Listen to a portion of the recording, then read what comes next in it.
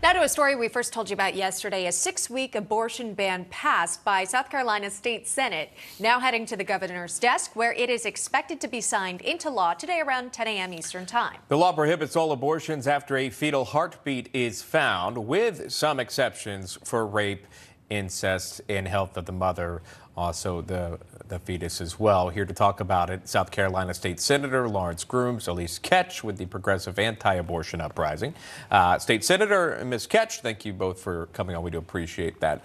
Uh, Senator, talk to us about this and how the state was able to get this done. I know South Carolina has tried to get the the so-called heartbeat bill done for for some time now. This time around, it was able to get past the House, the Senate, and to be signed by your governor, uh, I believe, in about 20 minutes from now. What, what happened this time? Well, we're just a few minutes away from it becoming law again. Uh, we passed a fetal heartbeat ban, and it was struck down by our Supreme Court. Uh, they cited some reasons, and we have corrected those reasons, and we're sending the bill back to the governor for his signature. It will soon become law. Uh, we do expect Planned Parenthood to file a challenge, so it will be back before our Supreme Court uh, very shortly. But it's important uh, that we recognize the humanity of the unborn. Um, the, the, the, question of, of, of, choice, well, I stand on the side of life. Uh, the, the unborn, they're humans, they're part of the human family. Uh, and we have a, a, a terrible history when humanity does not recognize the humanity of others. And when you recognize the humanity unborn, they are deserving of life. Uh, Jefferson, in our Declaration statement, spells out life, liberty, and the pursuit of happiness. But he also says that the purpose of government is to secure these rights. Governments are instituted among men. The primary purpose of government is to protect life. You know, South Carolina isn't the only state taking this step. More than a dozen have nearly uh, ceased all abortion services since the Supreme Court overturned Roe v. Wade. And Elise, I'll go to you. What does this tell you about uh, the future of abortion access within the United States in your view?